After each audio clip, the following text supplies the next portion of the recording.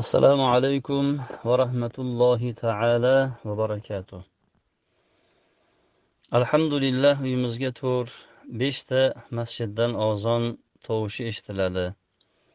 Shunda birinchi ozon tugashi bilan namozni o'qishni boshlash kerak yoki oxirgi ozondan so'ng o'qish kerakmi? Ba'zida birinchi va oxirgi ozon o'rtasida o'n o'n besh daqiqa vaqt bo'ladi. Debdilar. Namozning qaysi namoz ekanligiga bog'liq. Agar bomdod namoziga ozon aytilgan bo'lsa subhi sodiq kirgandan keyin ozon aytilgach darhol o'qib bo'lmaydi. Chunki subhi sodiq kirgandan keyin e, o'qilgan namozdan ko'ra tongga yaqin quyosh chiqishdan yarim soatlar avval o'qilgan namoz afzal namoz bomdodniki. Chunki payg'ambarimiz sollallohu alayhi vasallamga e, jabroil alayhissalom kelib namozni o'qib berganlar. Subhi sodiq kirgan paytda birinchi kun o'qidilar.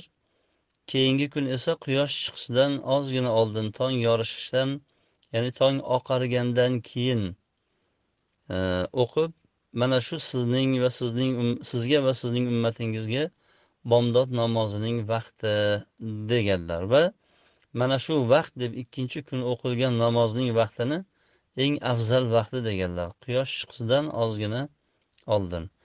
Quyosh chiqishidan ozgina oldin deganimiz bomdod namozini shunday o'qiyotgan paytda mabodo tahorat kelsayu borib tahorat qilib kelib bomdod namozini o'qishlikka yaroqlik vaqt qolsa bo'ldi. Ana o'sha payt eng afzal payti bo'ladi bomdodning vaqti. Misol uchun quyosh chiqishdan yarim soat oldin o'ttiz daqiqa oldin namozni boshlasangiz besh o'n daqiqa ichida tahorat mabodo ketib qoladigan bo'lsa borib tahorat qilib kelishlikka o'n daqiqa yetadigan bo'lsayu bemalol yana besh daqiqani ichida o'n daqiqani ichida namoz o'qib oladigan darajada bo'lsa demak bomdodni ozon aytilishi aytilishi bilanoq o'qimagan afzal. Buni tongga yaqin o'qigan afzal. Ana o'sha vaqt eng afzal vaqti deyiladi. Hali aytganimizdek tahoratga ulgurib qaytadan namoz o'qib olishlikka yaroqli vaqt bo'lsa bo'ldi. Peshin namozining vaqti esa aynan hozirgi paytda soat birda ozon aytiladi hamma e, joylarda. Ana o'sha birdan keyin o'zi o'n ikki yarimda vaqt kiradi. O'sha birdan keyin o'qilaveradi namoz. Endi asr namoziga kelsak asr namozini ozoni aytilgandan keyin to'rtta beshta masjidda agar aytilayotgan bo'lsa aniq vaqti kirganligi e, ma'lum bo'lsa unda o'sha birinchi ozondan keyin bo'lsin ikkinchi ozondan keyin bo'lsin e, o'qilaveradi. Lekin afzali eng oxirgi ozondan keyin o'qigani afzal. Chunki asr namozining vaqti kirgani e, aniq bo'ladi va hamda shomgacha uning vaqti bor.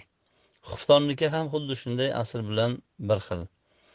Ammo shom namoziniki esa e, quyosh botgandan keyin ozon aytiladi.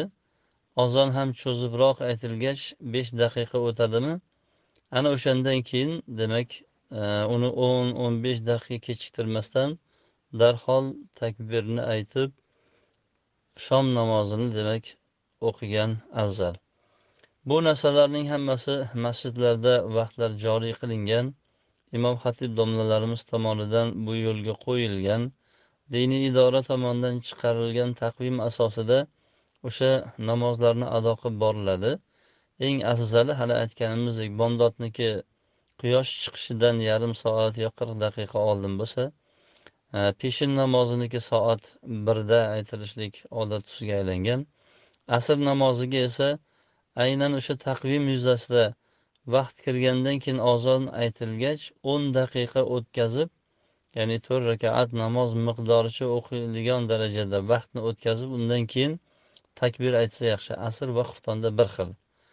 Ammo shom namozida esa o'sha taqvimdagiga nisbatan to'rt yoki besh daqiqa qo'shib ozon aytib undan keyin darhol takbir bilan shom namozini o'qib olinadi. Mana shu umumiy namozning vaqtlari. Shu holatda demak namozimizni ado qilsak e, hech qanday malomatga qolmaymiz. Haqiqiy sunnatga muvofiq namoz bo'ladi. Vallohu alam.